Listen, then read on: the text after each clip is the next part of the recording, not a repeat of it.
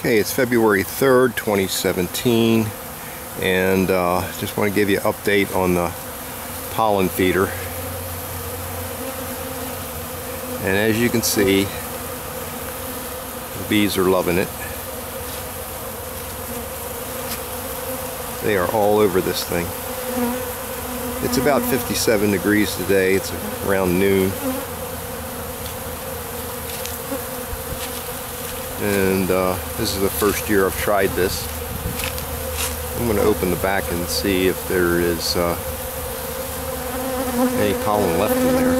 Where they're going in and out. Got one landed on the camera even.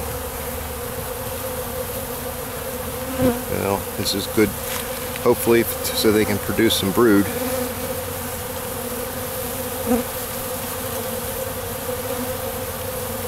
If I can zoom in a little bit. One person suggested I take the uh, screen off, but uh, I'm kind of reluctant to. We got a lot of field mice around this area, and uh, I'm sure they're hungry too, and they would probably love some protein. Let me look in the back and see what's in there. Okay, this is looking in the back.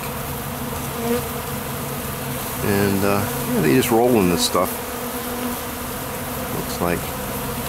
Yeah, in the back here, there's, there's more pollen up front. There's not much. I should probably reload this. Look at them. They just dusting themselves off in it. Now they're starting to fly out the back. they see it open.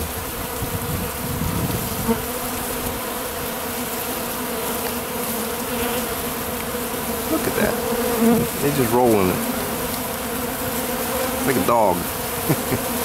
Man, one's really dusty. See, first creepers.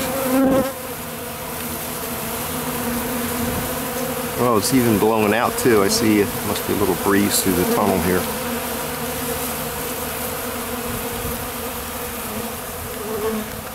I should probably reload it.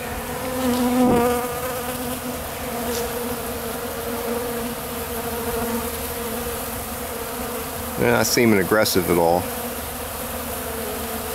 I don't have my uh, bee stuff on. Okay, just thought you'd be interested in a open feeder pollen update. If you like these videos, hit the red button in the corner and subscribe. Be happy.